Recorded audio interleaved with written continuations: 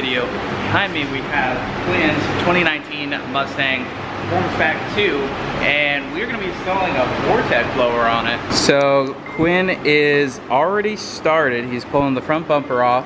We got everything laid out right there in the boxes. This is gonna be exciting because this is the first S550 Quinn has done with boost. Usually he does the appearance mods and that's it, but yeah, yeah, FBO, but I mean, that's like 2015 status. So now, now it's getting some boost. So I'm very excited. Uh, we should be hopefully ripping with this pretty soon. Rob at Palm Beach Dyno, hence the sticker. It's gonna be tuning this bad boy. And uh, I'm very excited to see how this pulls, you know, especially with the high RPM. It is stock oil pump gears, but eh, I, I think it's fine. I haven't seen any oil pump gear failures lately. I think Ford has really fixed the oil pump gears, but that may just be my opinion. Guess uh, Quinn will find out. hey, I mean, it's under warranty, right? According to that box. Boom, warranty. Don't break your bumper. All right, bumper is off. We're gonna let this cool down because Quinn just drove uh, about two hours to get here. And we're gonna let it cool down. I gotta make a stop. And then we'll come back and start wrenching on it. I'm very excited to see uh, how this works out. All right, so things escalated quickly. Manifold's off. Uh, Quinn's working on the intercooler, getting that mounted up. And uh, he's got the bracket right there. I got the intake manifold off. We're doing an IMRC delete. Basically, you take the factory intake manifold control runner, which is this little flap right here, and we're gonna lock it open with uh, some zip ties. We just go ahead and remove all the IMRC vacuum stuff right there, and uh, we should be good to go. Hello, welcome back. It's not focused. Oh, there you go.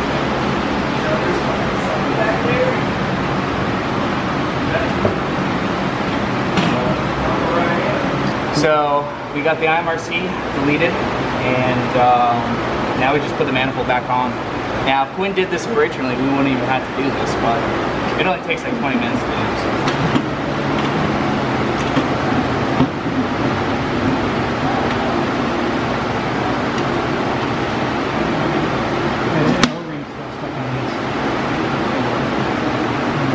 Injector. All right, so uh, we have a set of ID1050X injectors uh, we're going to be putting on this. So should be plenty of fuel to make up to about 900 to 1,000 on E85. Right now, uh, Quinn is just going for about 750 to 800 on 93.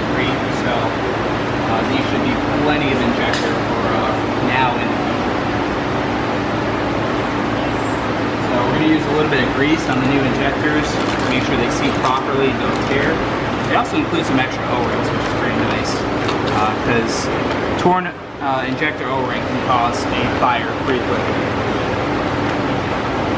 All right, so we've been working on it for a little bit. Glenn has uh, that fancy unit right there. Um, can you, what noises does it make? Can you uh, go ahead and Ooh, that sounds good. uh, do you need to put the pulley in before It's you? It's not quite that sound, but do you need to put the pulley on before you put it in the car? most likely. Yeah, I I would figure that you most likely do. Yeah. But I mean, do I need to get my Garrett Turbo over here and we can just kind of place it in? I'm gonna compare. Yeah, we can put my Garrett Turbo in there. Compare scale. What you think? That's It looks good though. I'm excited. So throttle body actually mounts reverse. It also has a spacer plate. Grab a boost reference right off of here. That's gonna go down to the blow off valve. Um, we're getting close. We got the fuel pump booster in the car. About to mount the blower up.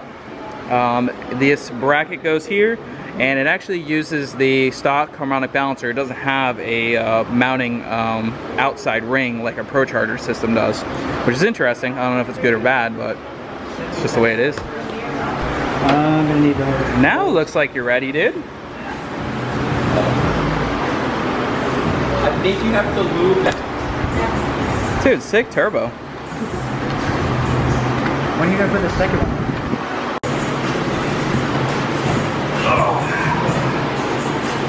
Quinn. Just put that on the intake right here. There we go. Little uh, spinny boy. Better get a picture of that. Supercharged and turbo. What do you call that thing? Like the for the title? Well, we decided to feed the all the Vortech with the turbo. Oh, that's there. Intercooler going in. Maybe. I think we just come back in the morning. But she's she's close.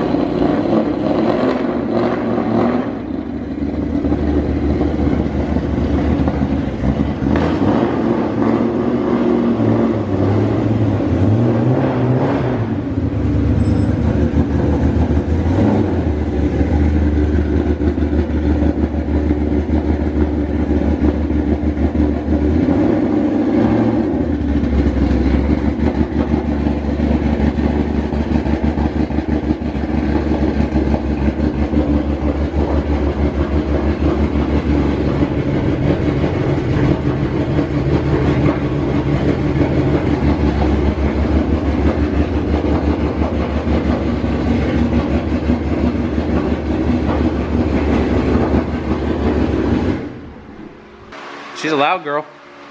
Oh yeah. All right, we got El Chapo in. We got Quinn's car in. We will finish this up tomorrow. Lifts are almost up. We had someone uh, spend all day doing the wiring and they did it wrong. So then we tore it all down and then uh, Derek just ran some wire. So lifts are getting close to being done. It'd be nice when they're done. All right, day two, uh, we got a set of NGK TR7 IX plugs. Uh, this is what we use in a lot of boosted uh, Coyote applications. These are the 6510s. If you guys need a link for these, I have a link in the description. It's what I use on pretty much everything Coyote related. Or Voodoo or Predator. But uh, we're also gonna go ahead and get the spark plugs swapped into Quinn's car. We're working on getting the charge pipes bolted up. Uh, interesting, uh, the blow-off valve mounts right here. I never knew that with these Vortech setups. But uh, very cool, like I said earlier, the belt runs right there. Um, rather than having a bolt-on outside hub, uh, which would definitely probably be some less stress on the crank. Hopefully we'll be started up here soon and make some uh, data logging hits with Palm Beach Dyno, Rob Shoemaker. All right, so we got all eight spark plugs done. Uh, we ran into a problem with the blower. It appears that it was clocked wrong. Um, from what Quinn found and he talked to Vortech, it looks like his blower is clocked for a 15 to 17 car. So the blower is sticking up a little bit too high and wasn't lining up with the charge pipes. At least that's what we hope was the issue. So hopefully, uh, It lines up now. We already test fit it. yeah, hopefully we should be in business now.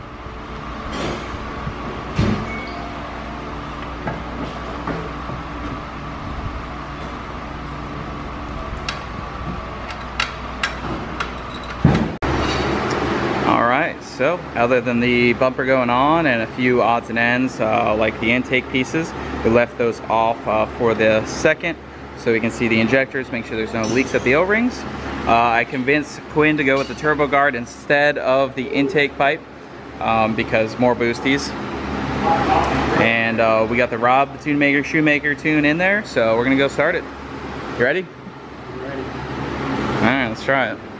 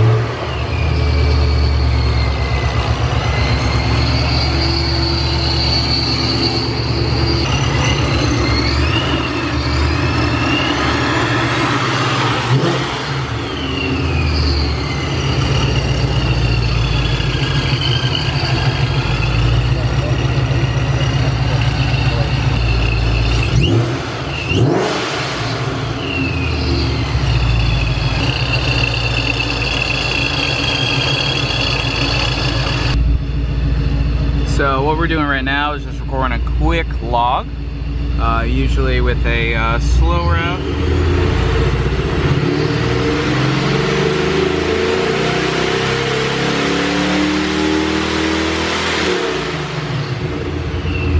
And it's really just capturing the short-term fuel trims. So we'll send it over to Rob, see if we're good to go full throttle.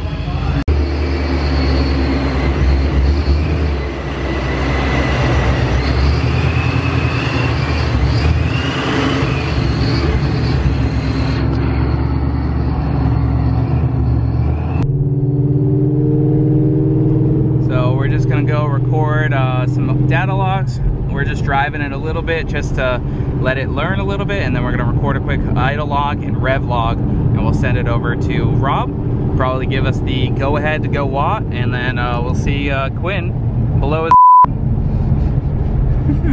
You put a on.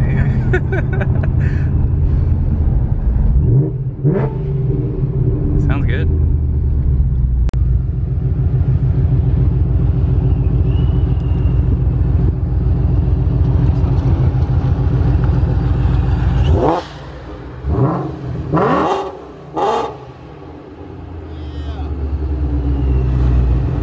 Let's go, Mexico. you wanna get gapped? Waiting on uh. Uh, yeah. It, it looks pretty pretty good, but yeah. Wait. Nope. Nine, ten. Nine or ten, yeah. Huh? Nine or ten.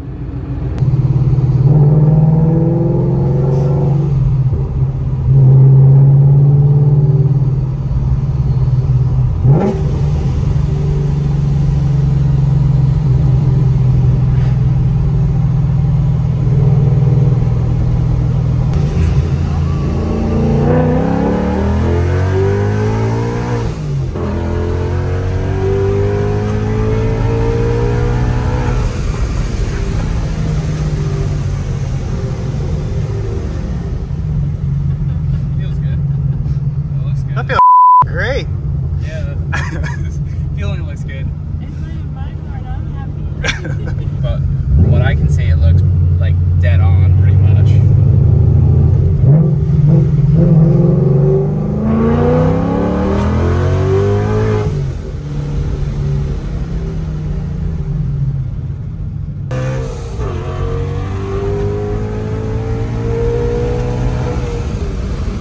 All right, we got one revision loaded into the car. We got the bumper on. Doesn't appear that we have any boost leaks. Barely see the bottom of it. So I think we're gonna go do just a few more data logging hits and I think it's gonna be Quinn's first time driving it, Well, getting on it. getting on it. He, he just drove it to the gas station. But yeah, let's go do uh, some data logging hits. You can barely see the intercooler in there. It's a little stealthy. Sleeper. Well, yeah, when you turn it on, turn it's it not. on, it's no sleeper, but So scream. What you think so far? It's rowdy. It's fun. It sounds good.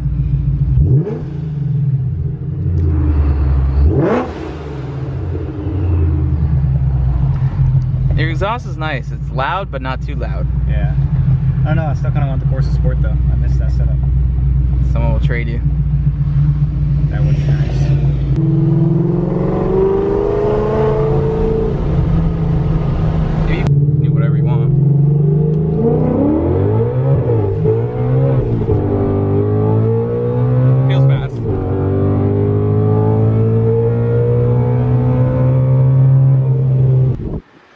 Dude. I think she's a ripper. Fun. Not bad at all. So we uh, just recorded some logs, sent it over to Rob. But tune tune wise, it looks good. Still getting a little bit of positive knock. Mr. Quinn put some 93 in it from Sam's. Don't don't do that, kids. Sam's 90 Sam's Club 93, which is Walmart, is uh, it's not good. It's the cheapest 93 you can buy. Not not necessarily your price, but it's the worst quality 93 you can buy. So when you're boosted like this, quality 93 is important. And then uh, once once you get that out of there, it should it should feel quite a bit faster without the uh, the bit of knock.